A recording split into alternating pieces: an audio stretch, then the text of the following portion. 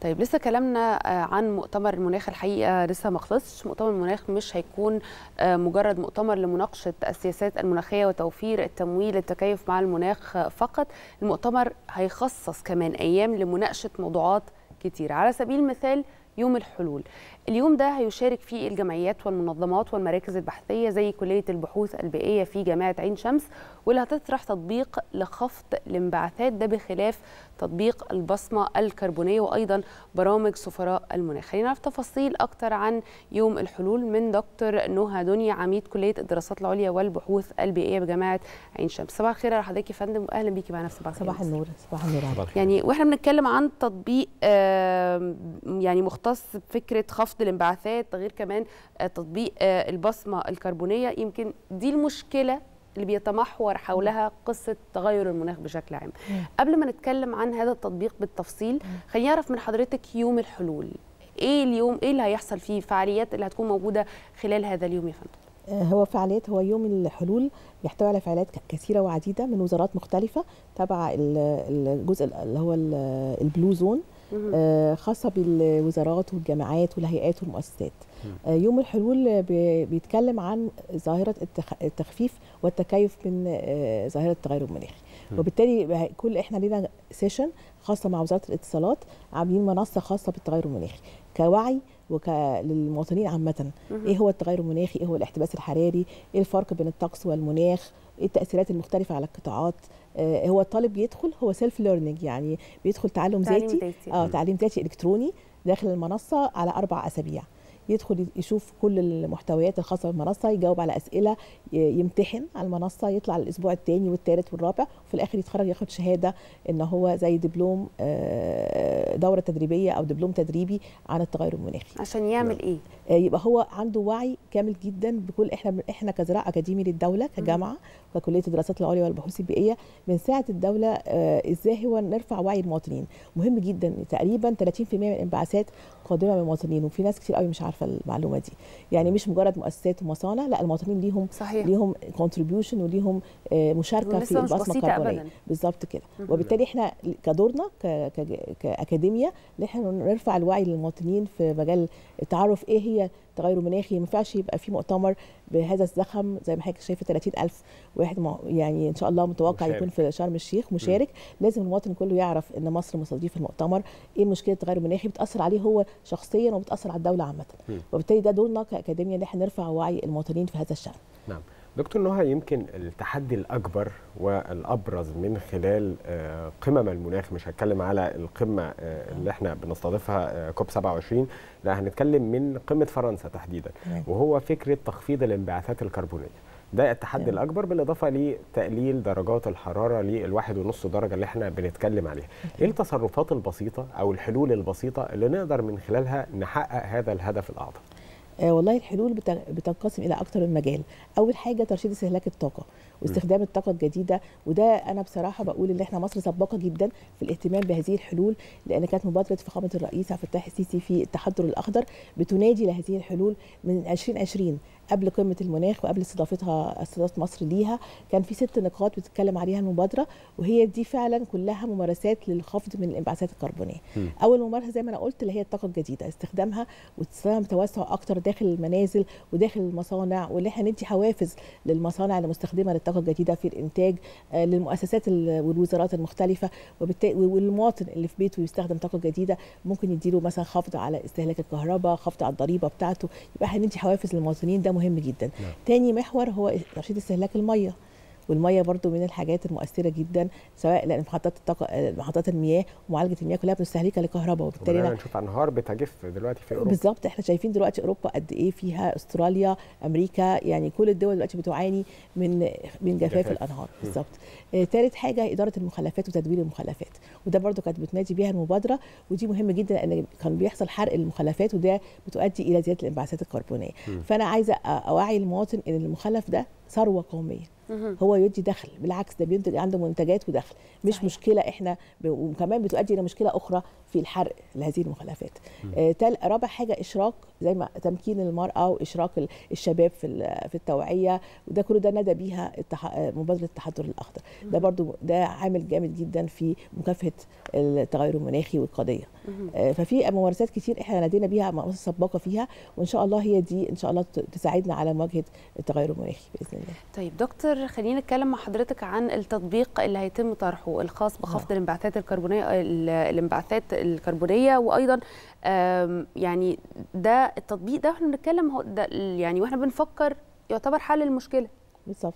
طيب كلميني عن هذا التطبيق. هو تطبيق على الموبايل. يعني ابس على الموبايل آه، بتنزليها وبتحسبي كل حاجة بتستهلكيها في المنزل. وده أول مرة يتعمل باللغة العربية أول مرة يتعمل في الشرق الأوسط هو معمول في في الدول الأوروبية وفي أمريكا وفي أستراليا لكن باللغة الإنجليزية. فإحنا حاولنا نعمله يبقى سهل جدا للمواطن العادي إنه يفهم هو أول حاجة بيركب مواصلات قد إيه؟ هل هو بيركب مواصلات عامة ولا private cars ولا كم كم عربية عنده في المنزل؟ بي بي بي كم كيلو في اليوم هو بيسافر بالطيارة؟ بيدخل جزء خاص من المواصلات لأن دي طبعا بتساهم في حرق الوقود الاحفوري وبالتالي انبعاثات الكربونيه تاني حاجة هو هو بيستهلك مية قد إيه في منزله؟ وهل هو مركب حاجات لت- لترشيد استهلاك المية في المنزل ولا لأ؟ والفاتورة بتاعته قد إيه؟ بيدخلها؟ بيستهلك طاقة قد إيه؟ في المنزل وهل في جزء طاقة جديدة ولا لأ؟ آه بيعمل تدوير مخلفات وايه الشراء ال- نوعية الشراء اللي عنده. المنتجات هل بيشتري حاجات بلاستيكية ورقية؟ ويعمل تدوير ليها داخل المنزل ولا لأ؟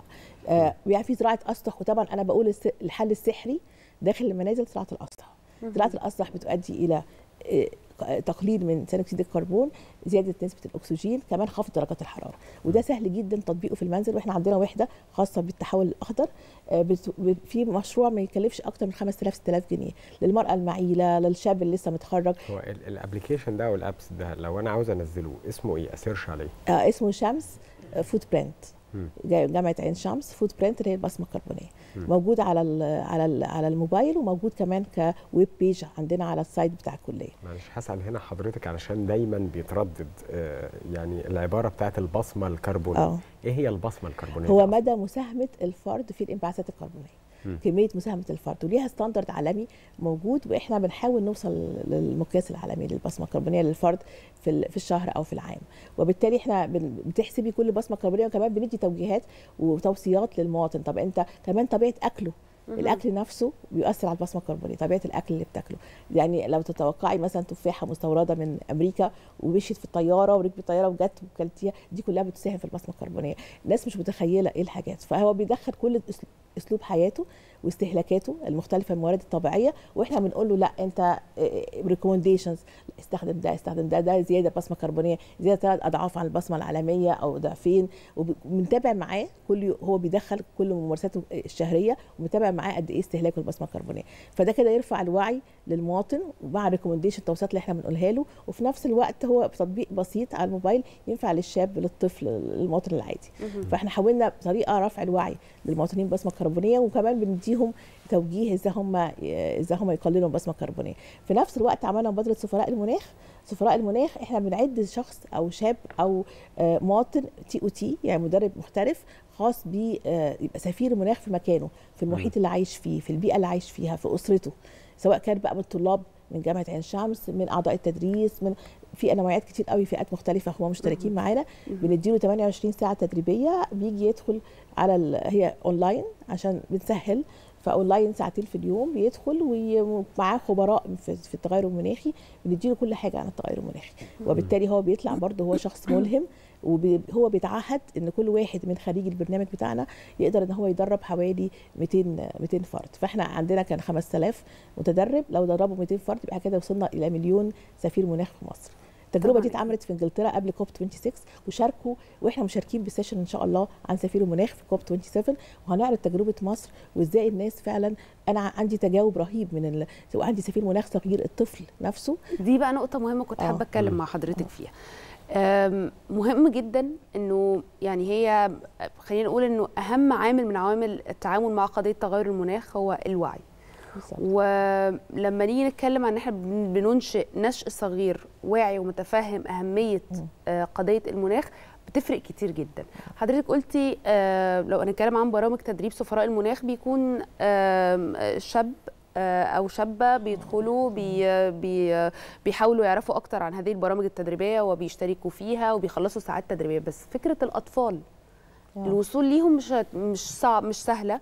وفي نفس الوقت مش هتبقى نفس آلية وصول الشباب لهذه البرامج. خالص مختلفة. هم جم عندنا بقى في الكلية. على واحد التحول الأخضر شافوا عملوا الحاجات دي بإيديهم. ده بيبقى اتفاق مع مدارس اتفاق. آه إحنا عملنا يعني تجربتين. أول تجربة كانت 100 جامعة الطفل. كانت 100 طفل جم من جامعة الطفل تبع أكاديمية البحث العلمي قضوا يوم في الكلية طول يعني من الصبح تقريبا من الساعة 9 خلصنا الساعة 6 يوم كامل بيتدرب تدريب تطبيقي على البصمه الكربونيه الطفل عارفة لما بيشوف حاجة قصاده مختلفة تماما غير غير غير الكبير غير الشخص الكبير. وبالتالي هو شاف الوحدة شاف الطاقة الجديدة هو عمل نفسه طاقة شمسية صغيرة نموذج له ركبها وشافها وبتطلع شحن على الموبايل. إحنا عندنا ابلكيشن كتيرة عملنا تدوير ورق.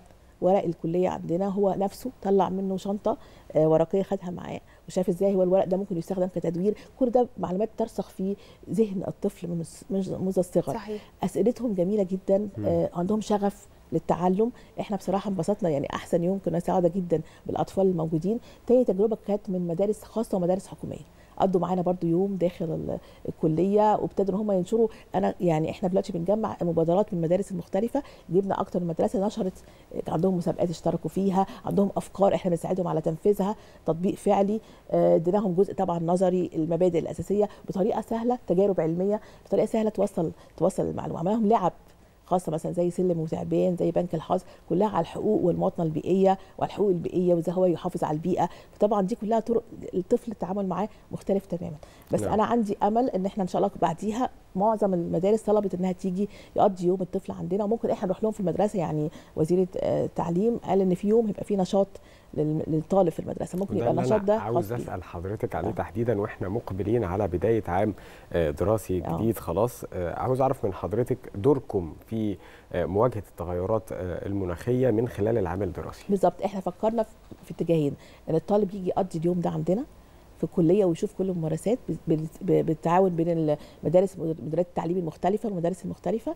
تاني حاجة إحنا ممكن نروح لهم يوم ونعمل لهم ندوات داخل داخل المدرسة. وده باتفاق في دلوقتي بروتوكول مع وزارة التربية والتعليم إن شاء الله في المديريه أكتر من مديرية بحيث نتفق معاهم على رفع الوعي. لأن ده فعلا محتاجه جدا وممكن يطبق نفسه داخل المدرسة. ممكن يعمل تدوير مخلفاته داخل المدرسة نفسها. ممكن يزرع داخل مدرسته. يعني هو ممكن يطبق اللي إحنا بنقوله. هو سفيرنا داخل المدرسة. مع زملائه هو يبقى سفير المناخ الصغير داخل مدرسته. بس ده بيتم اختياره إزاي يا فندم؟ آه ال 100 طفل كانت جامعة الطفل كانوا مشتركين في جامعة الطفل من اختيارهم عن طريق أكاديمية البحث العلمي. الأطفال التانيين كانوا داخلين في على استماره عندنا وكتبوا عملوا انترفيو معانا كانت في الحوار الوطني للطفل مع وزارة البيئة. ابتدي إحنا اخترناهم وجم ممثلين عن مدارس حكومية ومدارس خاصة كمان. يعني اللي أفهم من حضرتك إنه اللي بيشارك في هذا اليوم كلهم بيبقوا سفراء المناخ من الأطفال؟ آه من الأطفال آه. بيطلع بيطلع بعد ما يقضي طول كل يعني حوالي يعني من 9 ل 6 ساعات كتيرة بيقضيها معانا يطلع ياخد شهادة سفير المناخ الصغير. وإحنا هنشوف النماذج دي سواء كانوا شباب أو أطفال هيكون ليهم هيكون ليهم ممارسة إن شاء الله. في قمة المناخ قمة المناخ. عندنا كمان ثالث حاجة سفير المناخ الأفريقي. إحنا مصر بتمثل صوت أفريقيا. صحيح. فبالتالي عملنا دورة حوالي 1000 سفير مناخ أفريقي من 52 دولة أفريقية. ودخلوا معانا برضو اونلاين وكان عندهم مشاكل كتير هم عايزين يستفيدوا من خبرة مصر. مصر بالنسبة لهم الأخت الكبرى وعايزين يستفيدوا إحنا عملنا إيه في التغير المناخي؟ بدينا نوريهم استراتيجية مصر 2050 في التغير المناخي إيه اللي مصر بتعمله في القطاعات المختلفة الموارد المائية في الصناعة في الزراعة وبالتالي هم كمان عندهم مشاكل مختلفة عايزين حلول ليها زي الغابات يعني مش موجود عندنا مشكلة الغابات في مصر. صحيح. عندهم قطع الغابات عندهم حرائق الغابات وبالتالي هم ابتدوا يتبادلوا معانا المعلومات وعندهم فعلا وإن شاء الله يشتركوا معانا برضو في ال session بتاع سفير المناخ اللي إحنا عاملينه في COP إن شاء الله. طيب خليني أسأل حضرتك سؤال يعني كعميدة للدراسات والدراسات العليا والبحوث البيئية في جامعة عين شمس. مصر تستضيف حدث كبير حدث عالمي بيشارك فيه يعني تقريبا كل دول العالم. شايفة إزاي مدى إلزامية هذه الدول للاهتمام بالقضية المناخية لأن إحنا شفنا يمكن كان أول نسخة في فرنسا تم توقيع عدد من الدول على الالتزام لكن أغلب الدول في أوروبا لم توفي بهذه التعهدات. إيه مدى إلزامية ده في ظل التغيرات اللي موجودة حاليا. وبقت ملموسة ويتم رؤاها رؤى العين من آه، حرائق في الغابات ارتفاع درجات حرارة في أوروبا بشكل غير مسبوق. جفاف آه، أنهار بنتكلم على أوروبا وبنتكلم على آسيا يعني أصبحت حاجة مهمة وحاجة ضرورية آه، الحفاظ على التغيرات المناخية كي نسلم جميعا وكي تسلم البشرية. بالظبط. إيه الزميل ده؟ آه، أنا متفائلة جدا في كوب 27 خصوصا ان مصر هي منظماه وبالتالي عندنا ملف آه، شامل آه، بكل الخسائر اللي ممكن تنتج نتيجة التغير المناخي على الدول النامية ومنها طبعا مصر وعلى أفريقيا فهنقدمه إن شاء الله في الكوب. تاني حاجة إن أنا بالعكس الخسائر اللي هم شافوه في أوروبا من جفاف ومن حرائق وكده هم يعني أكتر أكتر احساسا بالمشكلة وصلت لهم. وبالتالي صحيح. أنا زمان لما كنت بتكلم عن في محاضراتي عن التغير المناخي من سنة 2000 كان الناس بتقول لا ده مش هيحصل أي حاجة. إحنا عايشين وسط الظاهرة. يعني الظاهره موجودة عندنا في كل في كل مكان في العالم. وصلنا للقمة خلاص. وصلنا للقمة. وبالتالي إحنا أعتقد إن هم هيبقوا أكتر مرونة أكتر تفهما للوضع لأنهم نفسهم متأثرين. آه، ملف مصر قوي جدا تجهيزاتنا في الكوب قوية جدا. وبالتالي إن شاء الله يكون في ناتج ويكون في تعاون أكتر منهم مثمر على نتائج كلها مشكلة المناخ مشكلة عالمية مش مشكلة محلية. وبالتالي لازم كل الجهود تتضافر معا وكله يتعاون معا. صحيح. وأعتقد إن أنا يعني عندي تفاؤل جامد بالنتائج اللي تسفر عن كوب 27 إن شاء الله. إن شاء الله. إن شاء الله يا فندم. طبعا بنشكر حضرتك جزيل الشكر دكتورة نهى دنيا عميد كلية الدراسات العليا والبحوث البيئية بجامعة عين شمس. نورتينا. شكرا. ميرسي